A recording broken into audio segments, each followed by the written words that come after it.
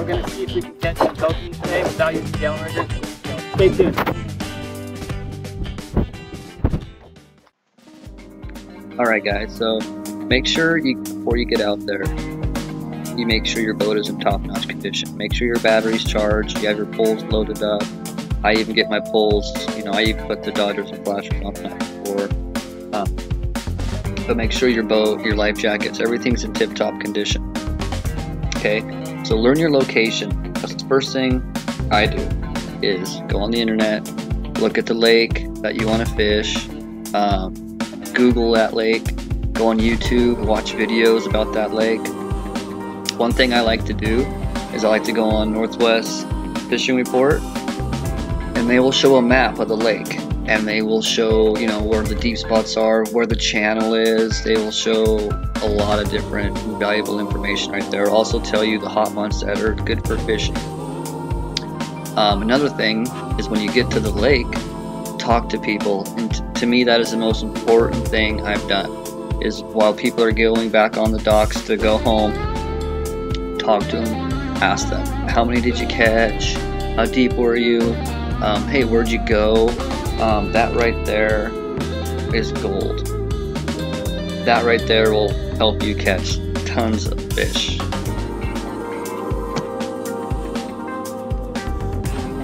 Okay, everybody, next thing you need to do is you need to get a trolling depth chart off the internet. Also, you could go to your favorite sports warehouse, wherever you get your tackle or whatever. Uh, most places will have it. Um, so, what the trolling depth chart does is it will help you get to your desired depth without electronics or downriggers. Um, it basically it tells you whatever weight you need to get. Um, how far out you need to go and your trolling speed and it'll give you the depth of that. So that way when you're out fishing, you talk to some people who are catching a lot of fish. You can ask them how deep they're at. They'll say I'm catching them between 65 and 75 feet.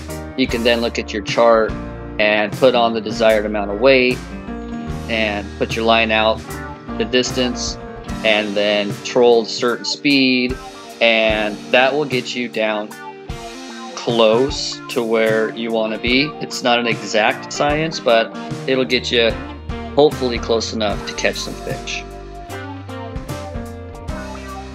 I'm doing is I'm just doing this typical slide. I'm putting three ounces on it today with a barrel weight right there and uh, running it down. Normal setup to a flasher, a dodger of your choice. Then I'm running them down to uh, my lure. Then I'm putting some corn on it. And uh, so far we've got about uh, six fish in the cooler. We've been fishing for probably three hours or so. So I'm, I'm pretty happy with this setup. So you don't have to have downriggers. Uh, that's the setup that I would recommend using. All right, guys. Thanks for watching. I hope you guys learned something. Um, if you have any questions or if I missed something, feel free to leave some comments below. Um, the rest of this video will just be some pictures and videos of some of the fish I caught that day. Um, hope you enjoyed it. Um, please like it. Please subscribe to this channel. Um, thank you guys.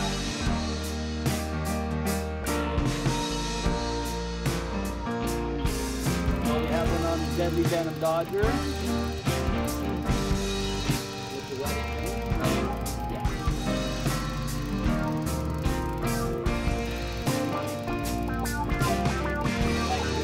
I'm not using a net today, guys. I, uh, to the uh, flop in the boat method.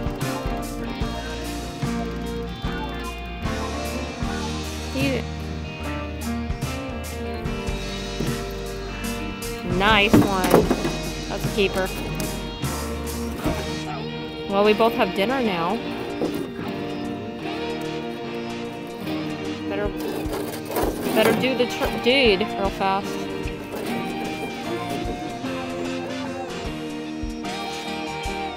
He does not want to be here.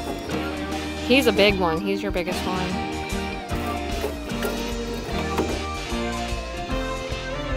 Yeah. I got you. Whacking him, but you can take that off.